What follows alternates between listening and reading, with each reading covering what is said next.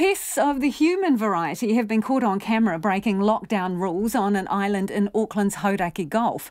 Cameras set up on pe- pest free Motukorea Browns Island in March after a stoat was spotted there haven't snapped the critter, but they have caught at least six people who shouldn't have been there.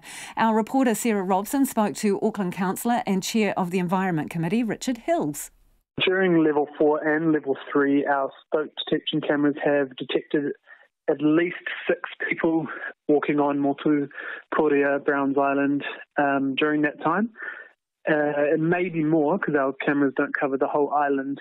Um, that's captured people there at 1.30 in the morning, a couple walking down the beach with a glass of wine in their hand, but they must be getting there by boat or kayak, travelling well over one and a half kilometres from the coast at least. So it's kind of breaking the level three and four restriction. How disappointing is it to see something like that happening? You know, everyone has been trying their best. I think Aucklanders have shown that everyone is playing to the, the rules and restrictions as much as they can, but to see something so blatant to travel that far, potentially put themselves in danger, and uh, the Coast Guard having to come out in the middle of the night uh, to help people, it is pretty disappointing to see people uh, travelling that distance to get to um, our Gulf Islands.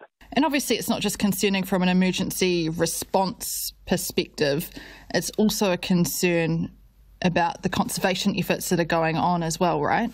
Yeah, definitely. So if those people are disturbing our traps, and it's also the the volunteers would love to be out there helping uh, do do work on the island, but they can't because of the level three restrictions. So to have people just kind of casually out there, potentially bringing other pests to the island, um, or also disturbing uh, bird species or the, or the traps that are set for the stoat, it is pretty disappointing. And what do we know about the fate of these stoat? Uh, the stoat is still um, on the loose. It's been quite tricky.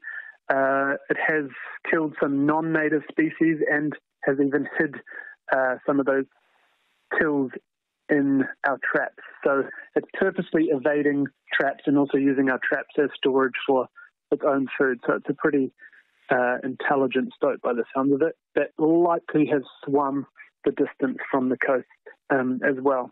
So it'll be a difficult one to catch, unfortunately. And that was Auckland Councillor Richard Hill speaking to our reporter Sarah Robson.